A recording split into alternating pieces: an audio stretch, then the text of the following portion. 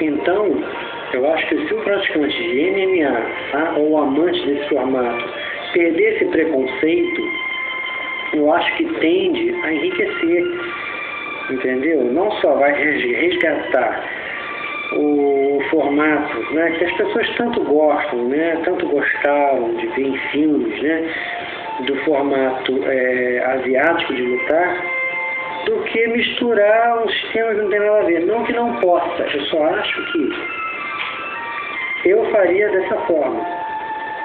Entendeu? Se eu fosse um praticante puramente de jiu-jitsu, eu procuraria o karatê para fazer lutar em pé. Eu procuraria sem, sem preconceito.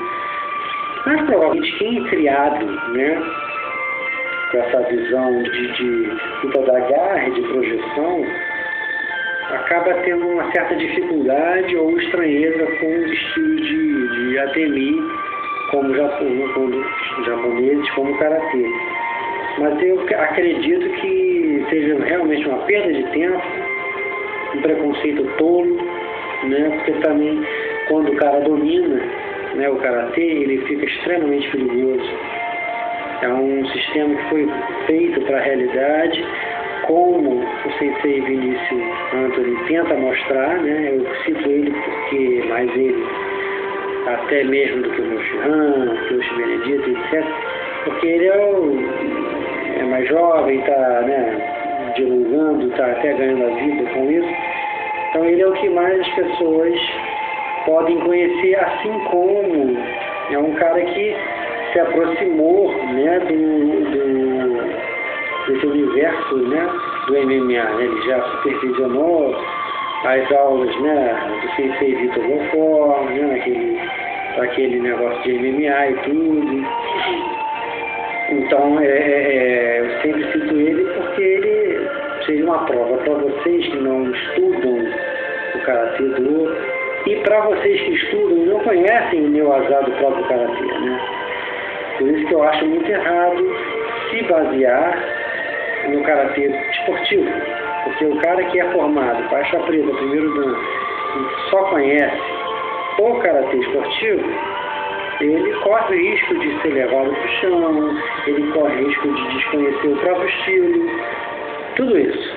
Então eu acho que cabe a todos nós, como sempre aquela humildade que eu sempre acho que a gente tem que ter, e buscar, sabe, com humildade. Nós do Karate Do, o pessoal do Jiu-Jitsu, o pessoal do Judo, o pessoal do Aikido, Tai Chi, do Kung Fu, por aí vai. A humildade tem que ser para todos nós. É, mestres como o mestre Hirokazu Kanazawa, eu né, sempre falo que nós consideramos um, um tapa do Karate Do, ele é praticante, além de Shotokan do Judo, de Tai Chi Chuan. Entendeu? É, parece que ele também conheceu o judô, não sei se se graduou, a preta, não sei, mas ele veio do judô, aí conheceu o karatê, seu nome, né? Sabe, o mestre já falecido, já né, aí, o mestre Tetsuhiko Asai, também conhecia alguns estilos da água, fora o karatê, né? Então, é, foram homens que não tiveram preconceitos em buscar, né, em outros sistemas.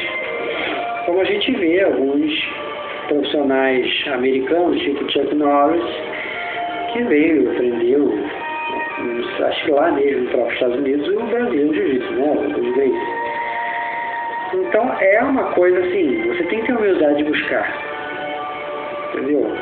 Eu acho que, eu particularmente, quero representar o Karate quero beber Karate comer Karate respirar Karate representá-lo com dignidade, mas estou aberto a coisas interessantes e a técnicas interessantes.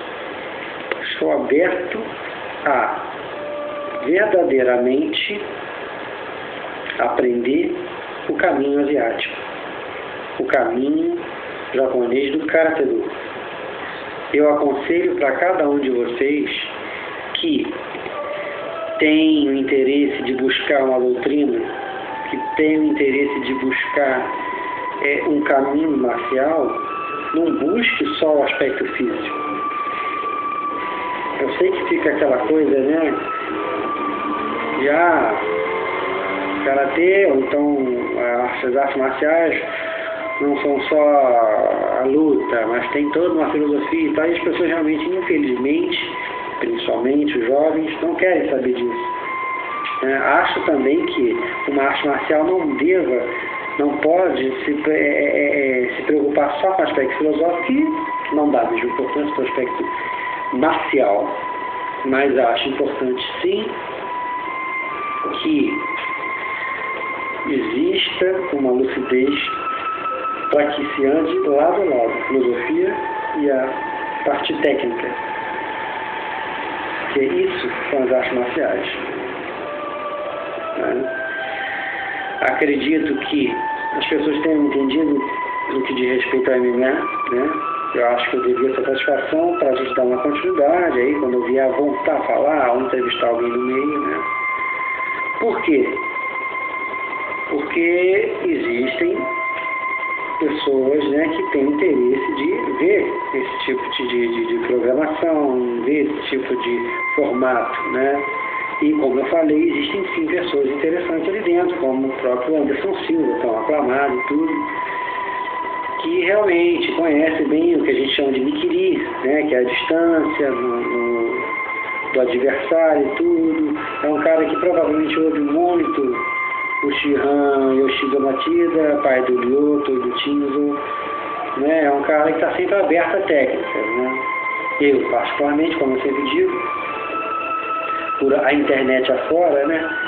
ou adentro né, da internet, eu sempre explico, é, digo a minha opinião de que, por exemplo, ele não precisava ter procurado necessariamente o Sensei Steven Seagal nos Estados Unidos, quis realmente uma promoção, provavelmente, né? Até porque o MMA tem muita promoção pessoal, né? É bom lembrar isso. É que as pessoas ficam tão empolgadas com aquele acontecimento, com aquele glamour, envolvido, que acha que tudo que acontece ali é o que há. E não é também assim. Né? Eu acho que tem muito comércio ali, tem muito, muita promoção, muito marketing. Né? Então, é uma maneira dele promover o Seagal, se, se promover, é, no caso ele se promovendo, aprendendo com o Steven Seagal, é, o Seagal ensinando um cara que é top de linha dentro da MMA. Então existe todo esse formato, é importante é, pensar nesses aspectos. Como é importante sempre deixar um recado no final para vocês, que referente à filosofia, né? Então existem várias histórias que podem ilustrar a nossa meditação, né? E existe uma história, né? A gente conta como um conto, né? de um guerreiro samurai que entrou numa vila procurando um monge que ele sabia que vivia por ali, porque ele queria saber a diferença entre o céu e o inferno. Eu sei que ele, de tanto procurar o, o monge, ele encontra esse sábio, né? E ele pergunta para ele, de uma maneira totalmente agressiva, né?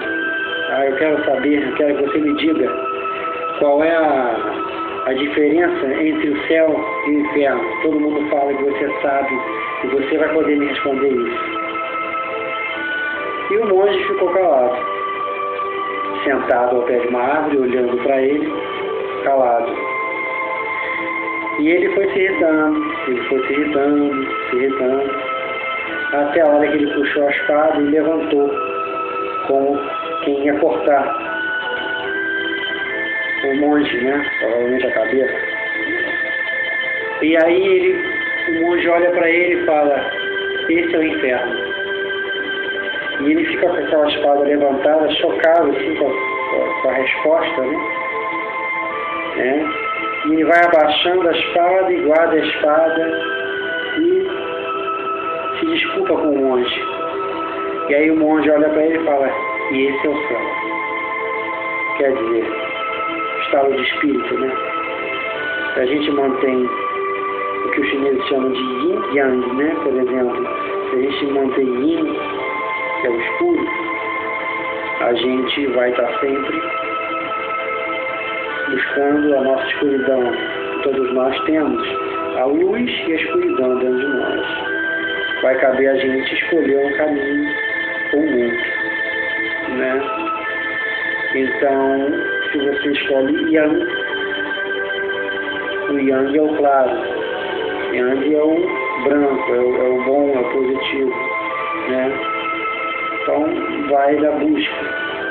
O céu e o inferno estão dentro de nós. Os dois estão dentro de nós. Então, acho que é uma meditação que a gente tem que é, sempre pensar. A gente tem que sempre valorizar isso. Porque isso é o caratedor. Ou